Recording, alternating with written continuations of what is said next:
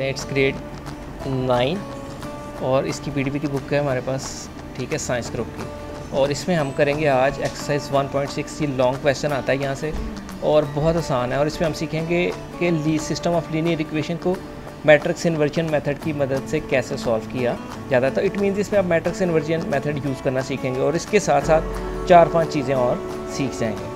तो स्टार्ट करते हैं क्वेश्चन लिख लेते हैं, मैं बुक साइड पर कर रहा हूँ, फिर क्वेश्चन लिखता हूँ, ठीक है? क्वेश्चन है हमारे पास जो।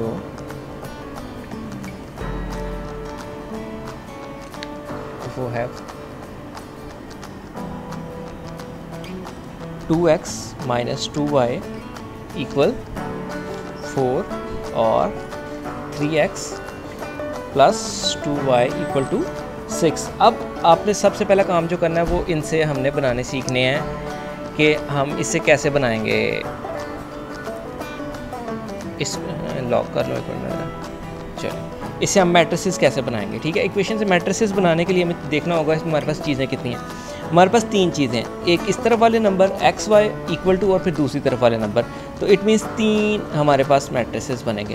पहला मैट्रिक्स कंसिस्ट ऑफ़ ये वाले जो, इसके जो हमारे पास कॉफिशेंट्स हैं ना एक्स वाई के साथ जो हेड्स हैं, वो रखेंगे हम। Two minus two three and two next हमारे पास आएगा X Y equal four six इसी तरह आप सब इक्वेशंस की, जितनी इक्वेशंस आएँगे, सब की मैट्रिसेस तैयार करेंगे, ठीक है? तो ये हमारा पहला मैट्रिक्स है, इसको हम ए लेट करेंगे, ये एक्स वाई वाला, इसको एक्स लेट करेंगे और ये हमारा बी होगा। अब हमें अननोन निकालना है इसमें, क्योंकि जब भी सॉल्व करने की बात की जाती है इक्वेशंस को तो हम अननोन को फाइंड करते हैं। तो अननोन को फाइंड करने के लिए हम क्या करेंगे? ए को दूसरी तरफ़ लेके जाएँगे। ए इधर है, उस तरफ़ जाएगा तो ए का इन्वर्स होगा, ठीक है? ए इन्वर्स होगा। ठीक है, यहाँ से अब हम देखते हैं इनवर्स इंटू बी हो गया हमारा। अब ए इनवर्स हमारा कैसे निकाला जाता है? ए इनवर्स बेसिकली हमारा मल्टीप्लिकेटिव इनवर्स है तो इसका हमने पीछे भी टॉपिक कवर किया था। ए मल्टीप्लिकेटिव जिस चीज़ का भी निकालना हो उसका आप निकालेंगे adjoint adjoint of A और उसको डिवाइड करेंगे उसके डिटर्मिनेंट से। अब यहाँ पे हमारे पास दो चीज़ें हैं। और जॉइंट कैसे निकाला जाएगा और डिटर्मिनेंट दोनों निकाल के ऊपर नीचे रखना ही है हमने। तो हम पहले निकालते हैं इसका जॉइंट डिटर्मिनेंट तो यहाँ पे आप डिटर्मिनेंट निकालना सीख लेंगे।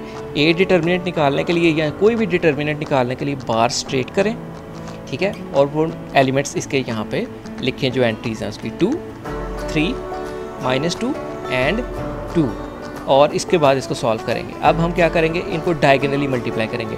इस एंट्री को इसके साथ, इस एंट्री को इसके साथ। मैं कहता हूँ कि इसको ब्रैकेट्स पे रख के मल्टीप्लाई किया जाए तो ज़्यादा आसान होता है। क्योंकि ये ऑलरेडी माइनस है तो मैंने इसको माइनस टू लिखी है इन टू थ्री ठीक हो गया? तो वो ज़रा माइनस की वजह से मैंने ऐसे टू टू ज़ार फोर इसके दरमियान हमेशा माइनस लगाया जाएगा। हमेशा इसमें माइनस आएगा। फोर माइनस और माइनस प्लस माइनस होता है माइनस टू थ्री ज़ार सिक्स अब ब्रैकेट से मूव करेंगे।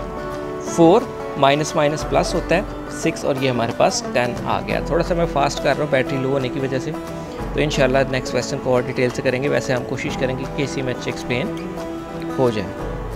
एक चीज़ हमने फाइंड कर ली कि हमने डिटर्मिनेंट निकाल दिया।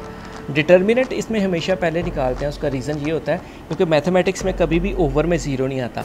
अगर हमारा डिटर्मिनेंट ज़ीरो आ जाता तो ये सवाल सॉल्व नहीं था, हो सकता यहाँ पे कैंसिल हो जाना था इसमें हो सकता है उसमें कोई सवाल हो जो इसका ज़ीरो आया और वो क्वेश्चन आप फिर यहाँ पर लिखेंगे more solution is not possible तो वो सवाल वहीं ख़त्म होगा। इसलिए पहले डिटर्मिनेंट निकालें, बाद में जॉइंट निकालें। तो हो सकता है आपका टाइम पाँच अब निकालते हैं एड जॉइंट वैसे कोई मसला नहीं है, जो मर्ज़ी पहले निकालें। एड जॉइंट में हम क्या करते हैं? एडजॉइंट भी एक मैट्रिक्स ही होता है, लेकिन एडजॉइंट में हम ये करते हैं कि देखें, पहले की जगह चेंज मतलब इसको, इसकी जगह और इसको इसकी जगह मतलब प्रिंसिपल डायगनल्स जो पहला डायगनल होता है डायगनल किसको बोलते हैं, देख लें।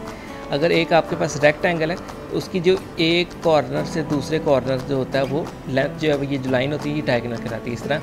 ये पहला डायगनल है, इसको प्रिंसिपल डायगनल बोलते हैं, दूसरे को पता नहीं क्या बोलते हैं, मुझे अभी तक किसी किताब में नज़र नहीं आया ठीक है? तो वो भी डायगनल ही है, वो दूसरा डायगनल हो गया। तो पहले डायगनल की जगह चेंज टू टू दूसरे डायगनल के साइन चेंज करते हैं। पहले की जगह चेंज दूसरे के साइन मतलब इसकी अगर नेगेटिव है तो पॉजिटिव पॉजिटिव है तो नेगेटिव अब टू नेगेटिव है तो ये पॉजिटिव हो जाएगा थ्री पॉजिटिव है तो ये नेगेटिव अब हमारे पास ज़रूरियात की जो सारी चीज़ें मौजूद हैं। अब यहाँ पर मैं वापस आ जाता तो पेज भी जाता हूँ। एडजॉइंट की जगह एडजॉइंट लिखेंगे और डिटर्मिनेंट की जगह डिटर्मिनेंट हो ये हमारा एडजॉइंट है, इसकी जगह हम एडजॉइंट लिख देते हैं, ऊपर आ जाते हैं। फ़ोन के थ्रू देख रहा हूँ मैं। तो ये हमारा बनता है। Two two, minus three and two. और इसके नीचे हमारा आएगा डिटर्मिनेंट, जो कि है टेन। तो आप इसको ऐसे लिखेंगे, one over ten into over divided by ten, one over ten करके लिख लें आप तो इसका सीधा होगा आपका। ये आ गया two, minus three, two and two. अब ये एक चीज़ हमारे पास आ गई, हमारे पास मल्टीप्लिकेटिव इनवर्स अब एक्स निकालने के लिए जस्ट मल्टीप्लिकेटिव को बी से मल्टीप्लाई कर दें। बी कौन सा मैट्रिक्स है? ये। तो ये तब तक क्वेश्चन देखे तब हम पेज चेंज कर लो, ठीक है? अब हमारे पास आ गया। यहाँ पे दूसरे पेज पे मैं आ चुका हूँ। One over ten into X निकाल रहे हैं ना? एक्स हमारा, देखिए मैं करके लिखूँ एक्स हमारा है। A inverse into B A inverse हमारा one over ten two two two और माइनस थ्री था। इसको मल्टीप्लाई करना है बी से। बी हमारा था फोर और सिक्स अब मल्टीप्लिकेशन जिसको नहीं आती, वो यहाँ पे मार खाएगा अगर जिसको आती है तो ये सवाल सॉल्व है। वन ओवर टेन तो पहले मल्टीप्लाई करेंगे। मल्टीप्लाई कैसे करते हैं? रॉस को कॉलम्स के साथ। पहली की रॉ को दूसरे कॉलम्स देखें।